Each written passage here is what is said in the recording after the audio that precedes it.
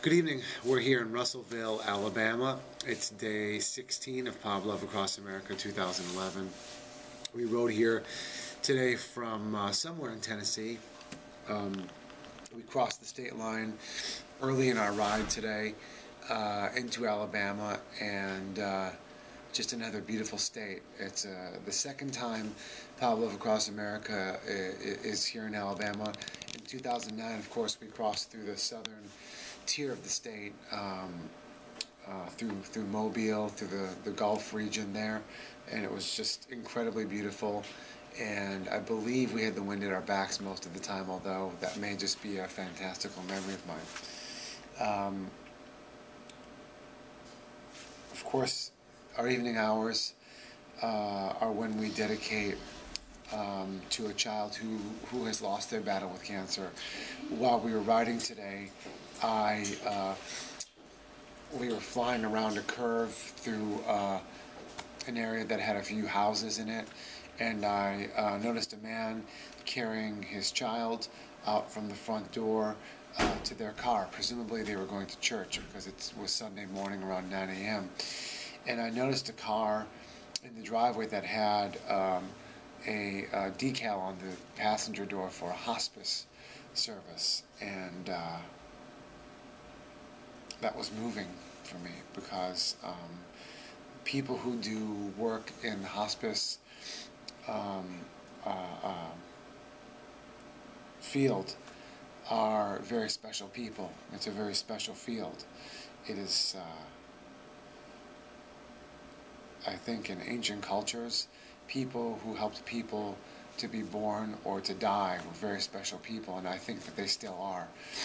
Um, when we were walking to dinner across the street from our hotel, I noticed in the uh, small office building um, next to our hotel, there's a hospice.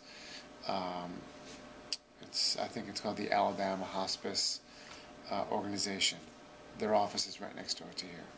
So this uh, this this uh, topic of passing away, passing on, um, how we do it who helps us do it has been on my mind a lot lately. Um, I don't know why these two things have popped up in my presence today, but they have, and I am a believer in uh, in the simple idea that things come into our consciousness or into our presence for a reason. Uh, tonight, we're dedicating uh, our resting hours to a young a young man named Jake Aldrich who um, who was diagnosed with cancer when he was four, who uh, had a whole um, whole sort of uh, episode of cancer treatment, and then was cancer free, and then uh, had a, a, a, recurrence, had several recurrences, uh, and of course, like my son Pablo, he um, and his family met the uh, hospice team at the end of his life because that's how these things go. Um, we um, honored Jake's life, and his mother Jennifer wrote an incredible um, story of his life uh, for me to read to learn about him. And I can tell you that he sounds like he was very similar to my son Pablo. Very similar to many young boys. He was into soccer. He was into running back and forth on the field. Um, even when the cancer returned to his lungs for the third time, he was still playing soccer. He was still running back and forth on the field. And uh, that is very much uh, what we went through with our son Pablo. Um, I don't know what it is because I was never able to ask Pablo and I wasn't able to ask Jake. I would love to know when a little boy or a little girl uh, has a cancer recurrence. Do they know? Do they know? Do they know this thing is inside them and they're just going to keep running anyway because they know that their whole purpose in life is to just keep running and keep messing around and keep playing. Um, it's some point I will be lucky enough to meet a child and, and with the permission of their parents uh, to, to talk to them about this because I, I, I would like to know.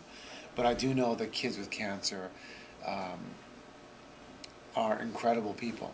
They, they absolutely stand out in any room they're in. They absolutely have a glow about them. And they absolutely, uh, when they smile, it is like the most valuable, precious thing that I've ever seen in my life. Um, things that most of us take for granted um, every day. Um, and then to see a child with cancer smile, you know, that child, that child's parents are not taking that smile for granted. It's a, it's a, it's a very powerful thing. Um, Jake's story was like the story of many of many kids, um, which is that he was diagnosed with cancer.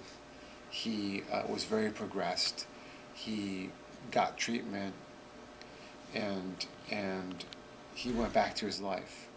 And then, unfortunately, his cancer came back, and um, when his cancer came back, and he was on treatment, he spent long days playing with Legos, and his um, his mom Jennifer wrote that his fingers moved very quickly, and uh, sounds amazing. He sounds like an amazing dude. Um, at some point in 2009, uh, he was in the hospital for for a procedure, and they were inpatient for 35 days. Um, that is about 50% longer than we're, on, we're doing um, this year on the road. That's a long time. Um, at some point, um, Jennifer and her husband leaned down to do their family hug with Jake. I can, I can picture this. And he said they were having a very hard time, his parents, and they were crying and they, they didn't know what their options were. And they leaned down to do their family hug, and he said to them, Don't cry, I will be okay. And um, he was seven years old. And uh, that, that just to me is an incredible thing uh, to hear, even, even um, as I read on this paper uh, two and a half years later what Jake said. I can only imagine how it felt for his parents to hear that. I, uh, for the past hour, have felt deeply um, emotionally raw, and I haven't figured out why that is quite yet. Um, certainly, none of these dedications are without their emotional um, um, challenges for me. Even the kids who are off treatment, um, or the kids who are currently on treatment, it just it's it's this is not um, this is not fun stuff. And uh, when I figure out what what's got me by the heart, I'll let you know. But for, for now, I'm going to tell you that we honor Jake Aldrich and his mom Jennifer and their whole family. Uh, we are in Russellville, Alabama. Uh, it's raining outside. Um, the NFL games are on, and all the riders, I think, are in their rooms watching uh, their games. We just had a, a dinner here, and um, and we are honoring Jake. The tough thing for parents and siblings who've lost children and brothers and sisters is that life goes on. The rain still comes down.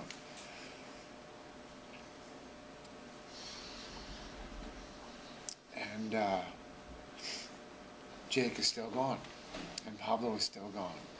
And what we can do is we can stand up in this world and we can say we're going to do something like Pablo across America, and then we can actually do it.